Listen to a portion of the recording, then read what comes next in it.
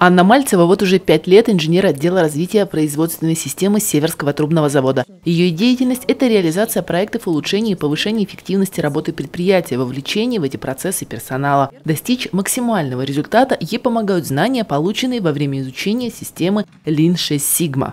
После обучения на зеленый пояс я сразу поняла, что я хочу пойти на черный пояс. Ну вот пошла на обучение, прошла его, мы сдали два аттестационных экзамена, реализовали два проекта. Ну, получили черный пояс заветный.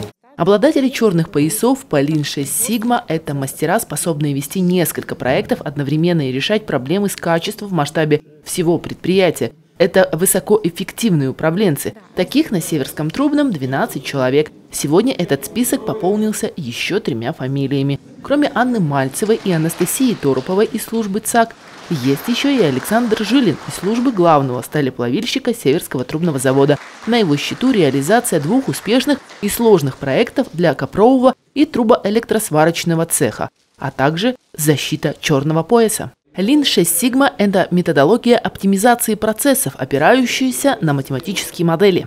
Благодаря реализованным э, в прошлом году проектам удалось получить дополнительный эффект порядка 35 миллионов в разных подразделениях, начиная от экономии там, дизельного топлива, э, заканчивая уменьшением гидравлического масла на гидропрессах, то есть всякие разные разнообразные работы.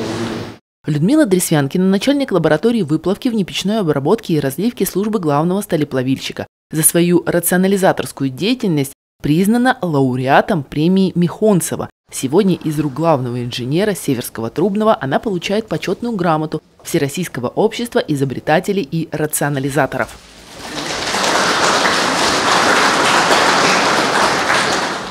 Алексей Пьянков, заместитель начальника цеха по технологии трубопрокатного цеха номер один, еще один лауреат премии и почетной грамоты. Рационализаторской деятельностью занимается с 2011 года. Его предложения направлены на увеличение производительности и создание математической модели брака и снижение расходов коэффициента.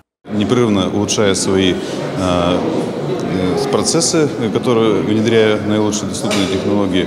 И э, дальше я этим планирую только все больше и больше заниматься. Александр Терешин, ведущий инженер трубопрокатной лаборатории научно-исследовательского центра за изобретательскую деятельность, по итогам конкурса стал лауреатом премии имени Ползунова. Почетная грамота и слова признания коллег – это итог участия в ежегодном конкурсе «Лучший новатор» в котором приняли участие 12 предприятий со всей области. Заявлено было 1681 рационализаторское предложение. Среди них есть и авторские разработки с Северского трубного завода.